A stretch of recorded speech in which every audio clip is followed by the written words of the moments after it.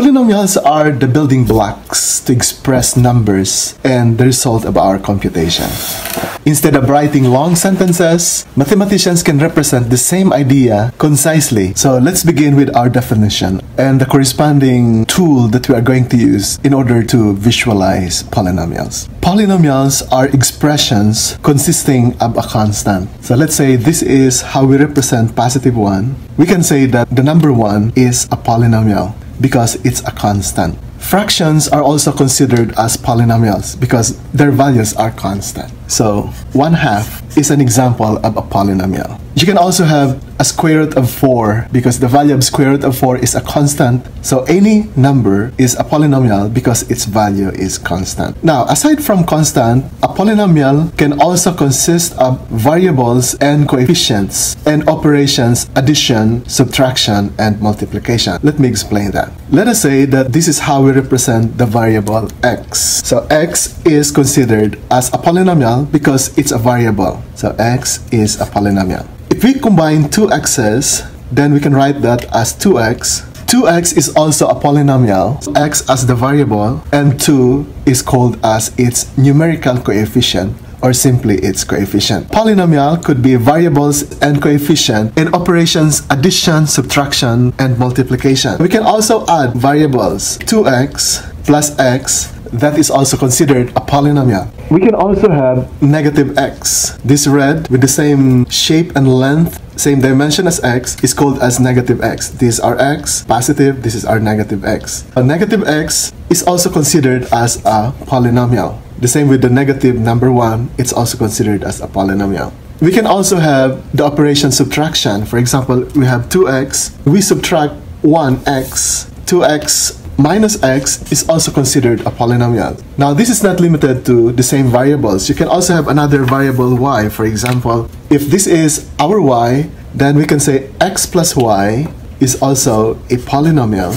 And we can have several of those. We can say 2x plus 3y is also a polynomial. We can also multiply variables. For example, x times y is considered a polynomial. Now, how do we represent xy visually? Xy is a rectangle with a length of x units and a width of y units. So x times y is xy. Visually, it is this rectangle with a length of x and a width of y. So these are all polynomials. But notice that you can perform addition, subtraction, and multiplication, but you cannot perform division. The reason is when you divide a variable by another variable, the result is no longer a polynomial. What we want here is to have operations between or among polynomials resulting to another polynomial, which we call as the closure property. Notice that in the definition, there is also that restriction. The variable must have non-negative integer exponent. What do you mean by that? If I have x squared, x squared is considered as a polynomial. And we can represent x squared as a square whose side length is x. So x by x unit, the area of this is x squared. So x squared is represented by this square. You can also have negative x squared as a polynomial. How do we represent negative x squared? We use the same dimension, but we use the color red to represent negative. Any other color is positive. So we can also have y. This is our y squared, and this is our x squared. So y squared is a square also with a side of y. Similarly, we represent negative y squared as the same square as y squared, only that we have different color. We use red to represent negative. So all of these have integer exponent and they are considered as polynomials. Now, the degree of the polynomial is determined by whatever is the sum of the exponents of each variable. So for example, we only have one variable here, so we don't have to get the sum. Just pick what is the highest exponent, that's the degree of the polynomial. In all these cases, the degree of the polynomial is second degree. We can also have a third degree polynomial. In fact, we can have polynomials of degree n, where n represents any positive integer. So how do we represent x cubed? x cubed is a cube like this, with a dimension of x for the length, x for the width, and x for the height. if you have a negative of that, it's a cube of the same dimension, but we use red color to represent negative. So this is positive x cubed, this is negative x cube. Y cube can be represented by a cube like this, with a length of y, a width of y, and a height of y units. And for negative y cube, we can represent it by this red cube, similar in dimension as the positive y cube, only that it's color red to represent the negative. These are third degree polynomials because the highest exponent is 3. The one that I would like to emphasize here is that in order to have polynomials, the exponent should be positive integers. So here are some of the examples that are not considered polynomials. So may I repeat, these are not polynomials. x raised to negative 2 is not a polynomial. The reason is because we have a negative exponent. We cannot have a negative exponent for polynomials because when you have a negative exponent, this will result to a rational expression. You cannot have division x over y because when you divide x by another variable y, this expression is considered as a rational expression. This is not covered in polynomial expression. So we cannot have division. That's why this is not a polynomial. The square root of x can be written as x raised to 1 half. You can review your exponent and these two are equivalent. Now 1 half is not an integer. This is not an integer. And remember, in our definition, the variable should have a non-negative integer exponent. Yes, this is non-negative, but it's not an integer. One half is not an integer. That's why the square root of x is not considered as a polynomial. How about square root of 2? Is square root of 2 a polynomial? Yes or no? The answer is yes. Now you might be asking, why is it square root of x is not a polynomial, whereas square root of 2 is a polynomial? The reason is obvious in the definition. All constants are considered polynomials.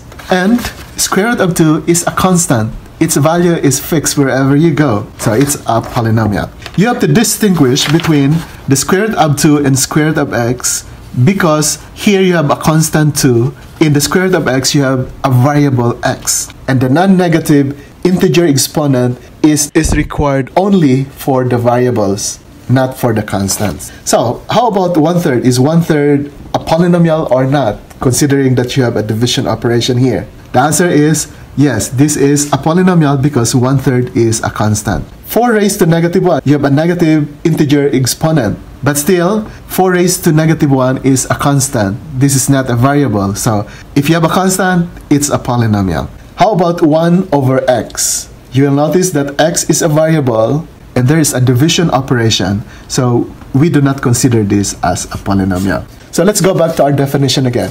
Polynomial is an expression consisting of a constant. All constants are polynomial. Variables and coefficients like x, 2x, y, 2y, and operations involving addition, subtraction, and multiplication only. So you can have x plus y, x minus y, x times y, that's okay.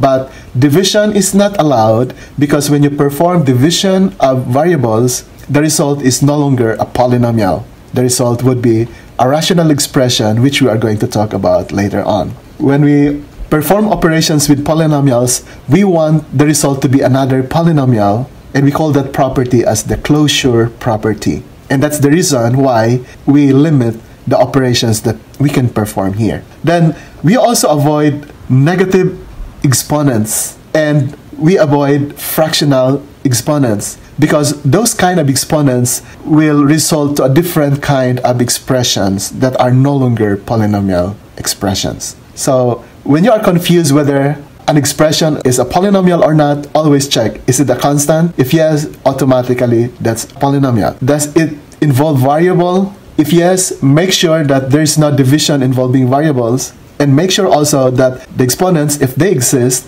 are non-negative integer exponent. Okay, with that as an introduction, let's do some operations on polynomials. So let's perform some operations with polynomials. For example, the problem is x plus 2x. What is the sum of x plus 2x? So this is our x, and 2 of that would be 2x. So if we add x plus 2x, the plus operation means we are going to combine them. And since they are all of the same kind, we now therefore say that x plus 2x is equal to 3x. I want you to observe the pattern because I'm going to ask you about it later on. Next, if you have 3x plus 2 plus x, how do we represent that? So 3x is this, we need positive 2, and we need an x. So that's how we represent 3x plus 2 plus x. So if we combine them all together, what's the result? So you have 4x plus 2. We cannot combine 2 with the x's because they are of different kind. So therefore, we now say that 3x plus 2 plus x is equal to 4x plus 2. We can no longer simplify this further because 2 and 4x are of different kind as you can see from this representation. This is one common error that many students are making. When they see 4x plus 2, their tendency is to add 4 and 2 to get 6x. That is incorrect because you always have to imagine this 4x as something like a rectangle like this and 2 as something like a little square like this. And it doesn't make sense to call this as 6x because 6x means 6 rectangles like this. Definitely, this does not look like a 6x. So when you have two different kinds, one variable and one constant, you just write that as a binomial like that. No need for you to simplify further. Next problem. So how do we simplify 2x plus negative 3x plus 3? So this is our 2x. We are going to add negative 3x. So negative 3x is represented by this. So that's negative 3x plus 3. So we need 3 little squares like this. So together, this is 2x plus negative 3x plus 3. Now we need to add them all together, so let's combine them all together. And once combined, look out for zero pairs. So this yellow x and this red x will form a zero pair. We can just remove this zero pair. Anyway, the value is zero, so remove that. And then these two will form a zero pair also, so we can remove that. So what is left is a negative x and a positive 3 is equal to this one, negative x plus 3. So I want you to observe what's happening here. You have 2x and negative 3x. When you combine these two, we remove two zero pairs, so what's left is 1 negative x. That's the negative x. And then the 3 is just copied. Next example. If you have negative 4x plus negative 2x plus negative 4, so we have negative 4x, 1, 2, 3, and 4 and we have negative 2x. You have 1 and 2. And negative 4, negative 1, negative 2, negative 3, and negative 4. Now, the operation is addition, so we have to combine them all together. And then, how do we read this now? You have the same kind here, so we can combine, count all of this to have 1, 2, 3, 4, 5, 6. 6 red, x, so negative 6, x, and this negative 4 is represented by this, so you have negative 4. Notice also what's happening. You have a variable x, you have a variable x. They are considered similar. We're going to define the term similar later on. So we can combine them to get negative 6x. This is a constant, so we just copy that as is. You can write it as negative 6x minus 4, or another way of writing that is negative 6x plus negative 4. Because subtraction is adding the additive inverse. We'll talk about that when we go to subtraction. Next example. How do we represent x squared plus 2x plus x squared minus 3x plus 2? So let's begin with x squared. x squared is a square that looks like this. This is our x squared. We need two x's, 1 and 2. And we need another x squared. So let's get, and this is the x squared and we need negative 3x so negative 1 negative 2 and negative 3 and we need positive 2 so 1 and 2 now if we combine all together notice that this x squared and this x squared can go together here to have 2x squared. And then we are going to remove the zero pairs for the x.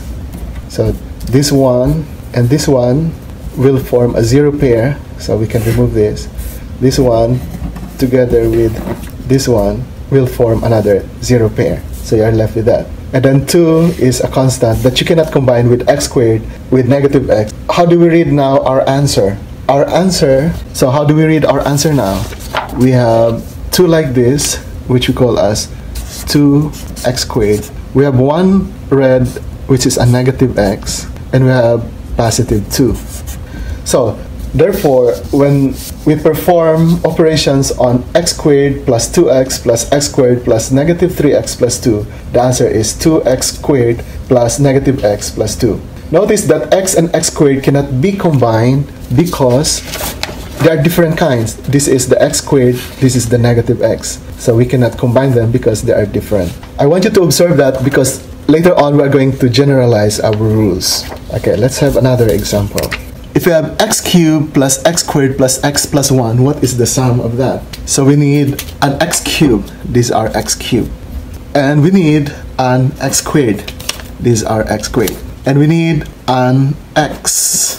That's our x. And positive 1. So, is it possible for us to combine x cubed, x squared, x, and 1? The answer is no, because physically, x cubed and x squared are very, very different you cannot combine them. One is three-dimensional, the other is flat. x and x squared are also different kind, and a constant is different than the rest. So x cubed plus x squared plus x plus 1 is already simplified, and we cannot perform any simplification further anymore. Okay? And how about this? 2x cubed plus 2x squared minus x cubed plus 4. How do we represent that? We need 2x cubes. So this is 2x cubed, two of these. And we need 2x squared.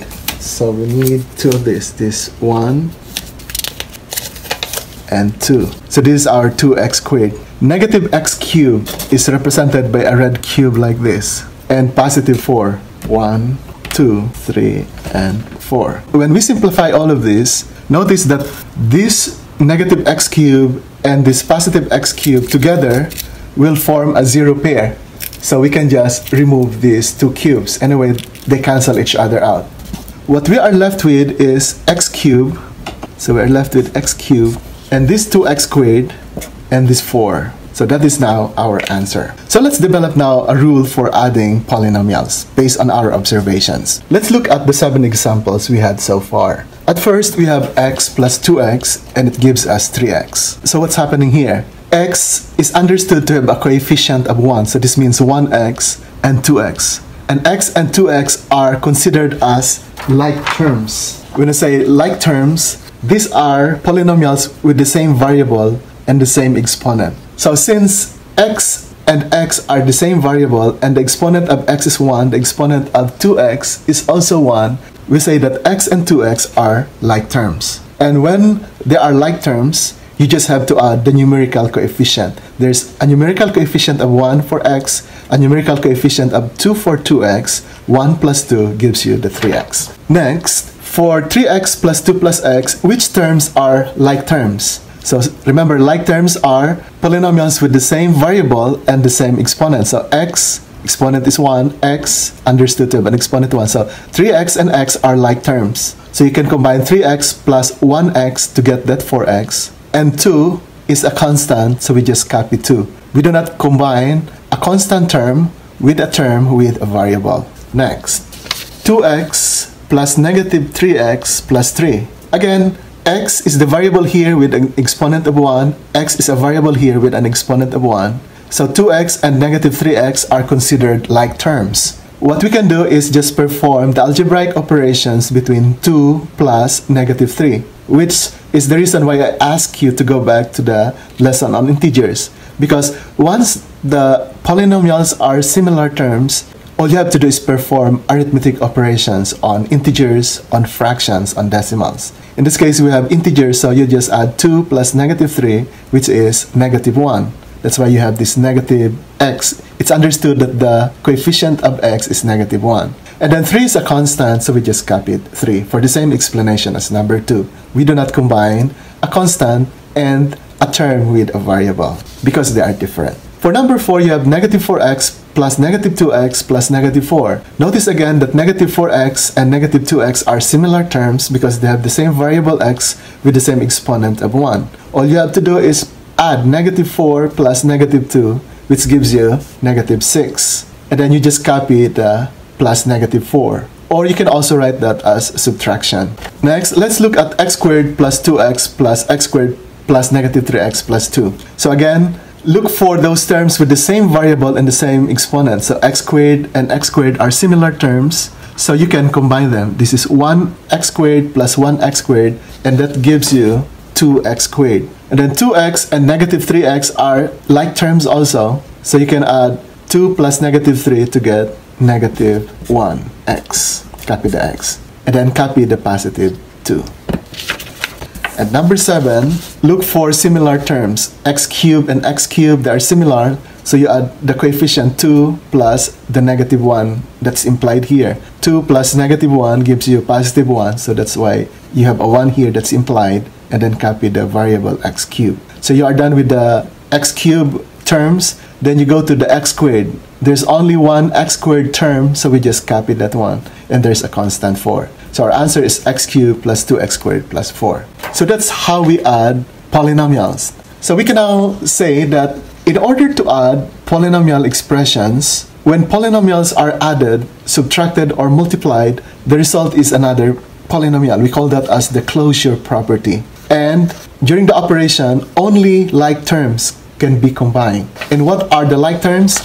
Like terms are those terms with the same variable and the same exponent. Concretely, you can only add x cubed with another x cubed. You can only add x squared with another x squared. They must be of the same kind, similar for y and similar for the constants. So let's repeat. The main rule that you have to observe here is only similar variables with the same exponent can be added or subtracted. And we call those as like terms. Now, applying the rules that we have uh, formulated previously, how do we now add 5x minus 2 plus 5x minus 2? Now, in mathematics, there's a property called the associative property, which says that you can interchange the order of the addends without affecting the value of the expression. When the grouping symbol is preceded by a positive sign, you can simply remove the parenthesis. So we have 5x minus 2 plus you can remove the parenthesis because it's preceded by plus sign without affecting the value of the expression inside. 5x minus 2 so that's our first step. Now using the associative property we can group together 5x and 5x and then minus 2 and minus 2 oops it should be 5x now what is 5x plus 5x these are similar terms so 5 plus 5 is 10 and copy the x this is negative 2 and another negative 2. Together they will form negative 4. If you want a concrete representation of that, it will look like this. You need 5x. That's the 5x. And another 5x. Together, when you combine them, that becomes 10x. That's the reason now you just have to copy the common variable x. You don't have to make it x squared because you are not multiplying. You are just counting how many x's are there all in all. And there are 10 x's. And of course, negative 2 is represented like this. That's negative 2. And another negative 2. Together, when you combine them, you get negative 4. So, 10x plus negative 4. So our goal is to slowly remove the use of this manipulative once you started to understand how the rule works. But when you are confused, you can always go back to this mental representation and that's the way to do it. Number 13, we have the quantity 3x minus 4 plus 3y plus the quantity y plus 2x plus 3. So again, if the grouping symbol is preceded by a plus sign or there's no sign, it's understood to be positive, we can simply remove the grouping symbol. So 3x minus 4 plus 3y. This is preceded by a plus sign. You can simply remove the grouping symbol. So plus y, copy the same operation, plus 2x plus 3. That's the first step. The next step is to gather all the like terms. It must have the same variable, same variable, and the same exponents. So 3x and 2x are similar. So we copy 3x plus 2x. And then y and y, they have the same variable, 3y plus y. And then you are left with minus 4 and plus 3. So you copy that sign. Don't forget to copy that minus. Minus 4 plus 3. Okay. Now, when you rearrange the terms using the associative property, we, can, we are now ready to combine similar terms. 3x plus 2x equals 5x. 3y plus y is 4y. Remember, there is a numerical coefficient of y here. And then, this is the common problem here. Many students are thinking it like 4 plus 3. That's wrong. You should include the sign prior to the number. So this is understood to be negative 4 plus 3. So negative 4 plus 3 equals negative 1. And that is now our answer. Okay. Next. Now, so that you can really understand what's going on under the hood of this problem, let's have a visual representation of this problem. You have 3x, 1, 2, and 3. And you have negative 4, and you have 3y, 3y, 1, 2, 3.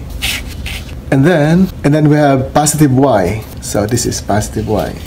And then you have 2x. So you need two of this. 1 and 2. And you have positive 3. 1, 2, 3. And then combining them all together, these are the same kind. So you have 1, 2, 3, 4, and 5. So that's 5. So we have 5x. And then how many y's do we have? 1, 2, 3, and 4. That's our 4y. And here we can form zero pairs. So you uh, this zero pair we can remove, this zero pair we can remove, this zero pair we can remove, and so you have negative 1. That is why our answer of 5x plus 4y minus 1 is verified to be correct. I hope this is making sense with you now. Let's have more examples. So let's do this one. Again, the first step is remove the parenthesis preceded by a plus sign or there's no sign, just copy 7xy plus 4x minus 2. Remove the parenthesis minus xy minus 2x plus 4. And then combine similar terms. Look for the xy terms. Group them together always bring the operation prior to that number, so minus xy. And then look for the x's, you have plus 4x and you have minus 2x. Always bring the operation prior to it. And then minus 2 and then plus 4. Now, 7xy minus 1xy gives us 6xy. 4x minus 2x gives us positive 2x. Negative 2 plus 4 gives us positive 2.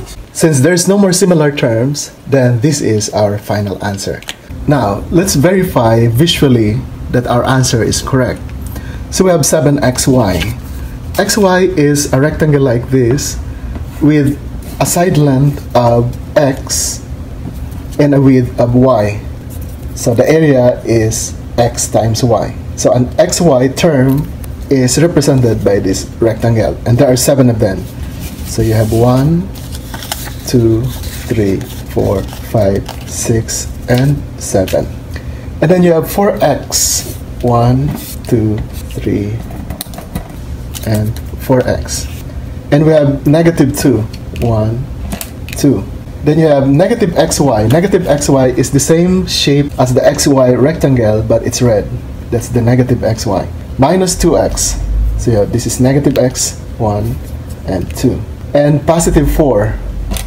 1, 2, 3, and 4. Notice that I select where to put them so I can group together those similar terms. That is possible because of the associative property that says I can rearrange the order of the addends without changing the value of the expression. So when we simplify now, notice that we have a red and a blue here. Together they form a zero pair, so we can remove this zero pair. There are two red here, so we can remove also two yellow because they form zero pair. One pair, another pair. And then you have two red here, and with two yellow, they'll form a zero pair also. So I can remove this. So what's left is this. You have how many xy? You have one, two, three, four, five, six. Six xy. That's why in our answer we have 6xy. Plus 2x, this is the 2x. Plus 2, that's the 2. So visually, we verify that our answer is correct.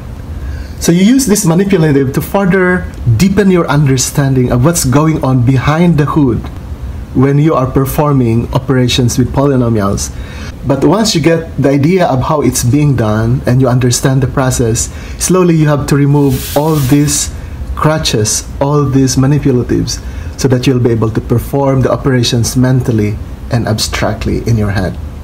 Or at least using pen and paper. Because not every time you can use these manipulatives. But use this as a way for you to understand why you cannot combine an x with an xy because they are different. Why you cannot combine x squared with x because they are different. So let's try number 15. There's no sign here, it's understood to be positive. We can remove the parentheses and copy everything inside. There's a plus sign here, simply remove the parentheses but bring the sign. Minus y cubed plus 7 plus 2y. And then gather all those similar terms. As you keep on doing this, you don't have to write all the steps anymore once you understand the process. You have 4y cubed and you have minus y cubed here, that is 4 and negative 1. There are similar terms, so you can perform the integer operation here. 4 plus negative 1 gives you positive 3. And then copy the y cubed. 4y squared there's no other y squared, so just copy that one. y and 2y, so this is positive 1y, positive 2y, similar terms, like terms, add 1 plus 2 equals positive 3, and copy the y. And then we are left with 7, copy 7. So, can we still simplify this further? No more, because y cubed is different than y squared, and y squared is not similar to both of those two, and 7 is a constant. Then, Usually, we write the answer in descending order of exponents 3, 2, 1, and then the constant. And we can verify this visually again one more time. So 4y cubed, which one is, so 4y cubed is this. 4y cubed, the length is y. 4y squared, so 1, 2, 3, and y, so that means 1y. So this 4y cubed plus 4y plus 1 minus y cubed. So we need a red y cubed minus y cubed plus 7. So 1, 2, 3, 4, 5, 6, and 7 plus 2y. So we need 2y plus 2y. And then simplify this y cubed and this negative y cube form a zero pair so we can eliminate them. And our answer would be this 3 y cube. So you have the 3y cube, 4y squared. This is the 4y squared. 1, 2, 3, 4. 3y, this is the 3y. And then 7, this is the 7. So the final answer is 3y cubed plus 4y squared plus 3y plus 7. That's the visual representation of that operation. Now let's have subtraction. Subtraction is very much similar to the addition of polynomial. There's only one step that you have to perform. And that step is to use the definition of subtraction. We say that subtraction is adding the additive inverse. What, what do you mean by that? It means that if you have the quantity 2x plus 3 minus the quantity 3x minus 4, when you remove this minus sign, you have to apply this definition. So this one is preceded by plus sign. I simply remove the grouping symbol. So I have 2x plus 3. I have the minus sign here. I'm going to change this into addition. So from minus, from subtraction, that becomes addition. So I change the minus to plus. But notice what will happen. I have to change the sign of every term inside the grouping symbol. What's the sign of 3x? It's positive 3x. But now, I have to write the opposite, minus 3x. I'm done with this. Now this is minus, what's the opposite operation of minus? It's the plus, it's the positive. So we can write it as plus 4. So in other words, when you have a minus sign here, all the terms inside the grouping symbol after that would change their respective signs when you remove the grouping symbol. So after that, we know what to do with this because this is just addition of polynomials. So there's just one more added step when you are subtracting polynomials. That is applying the definition of subtraction as the addition of the additive inverse. And what's the additive inverse? That's the opposite sign of the given number. Let's say you have 5 The additive inverse of 5 is negative 5. The additive inverse of x is negative x. Conversely, if you have negative x, the additive inverse of negative x is the positive x. It's the opposite sign. Once you have this, we collect like terms. You have 2x and negative 3x. They are like terms, so we can combine them to get 2 plus negative 3 equals negative 1x or simply negative x. 3 plus 4 equals 7. So that's how we perform subtraction of polynomials. Let's have one last example. So if I have this problem, the quantity x cubed minus 2x plus 1 minus the quantity x cubed plus 2x minus 4. We remove the grouping symbol preceded by plus or there's no sign, just copy. There's a minus sign here, change the sign of all the terms inside. So from positive x cubed to minus x cubed, from plus 2x to minus 2x, from minus 4 to plus 4. So change the sign, change the sign, change the sign. Collect like terms. x cubed minus x cubed will cancel each other out because you can think of x cubed and minus x cubed as this. So that's canceled out already. Negative 2x and negative 2x, that gives you negative 4x. Positive 1 and positive 4 gives you positive 5. Some students have problem with the minus sign. Another way of solving this is like this. You can copy x cubed, copy negative 2x plus 1 change the sign of each term inside the grouping symbol. So from positive x cubed to minus x cubed to negative 2x to minus to positive 4. So I change from positive to negative, from positive to negative, from negative to positive. Now when you have all these minus signs, you can change them to addition sign by using the definition of subtraction, which is adding the additive inverse. So from minus, that becomes plus, and get the opposite sign here, minus 2x. Plus 1, just copy. This is minus x cubed, you can write that as addition, plus the additive inverse of x cubed is negative x cubed. Change the plus sign and get the additive inverse of 2x as minus 2x plus 4. Once you converted everything to addition, it's easier for us to visualize.